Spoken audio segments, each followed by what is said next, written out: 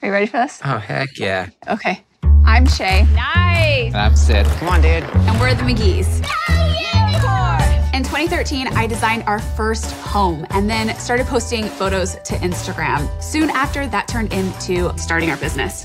Right now, our interior design studio is designing dream homes for clients across the country.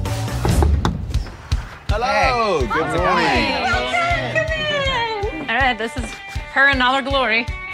It's a small space, and that just takes careful space planning. Easy peasy. It was Yeah. not easy peasy, and there's still so much work to be done.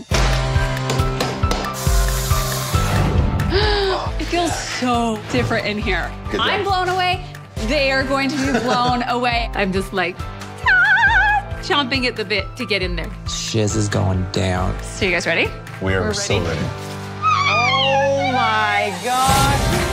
Oh, this is legitimate. It's so pretty. Shea!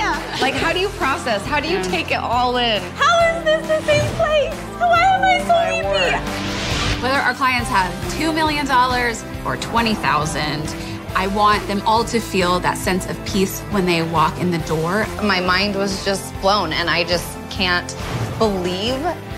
Yeah. You did so good. Mm.